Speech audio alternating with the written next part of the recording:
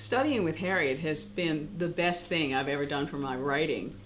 One of the problems I had was endless rewrites. So I would get a song together, then I'd put it away for a week, and then I'd take it back a week later and go, oh, that information should be in the second verse, but then that changes this, and this should be over here. Oh my God. And it would just go on and on and on, and nothing would ever get finished. And um, there's a particular step in, in Harriet's course that totally handles that. Um, so that problem's, that's no longer a problem. And I finish songs and they're clear, they say exactly what I want to say, and they say it better than I would have said it before I started studying with Harriet.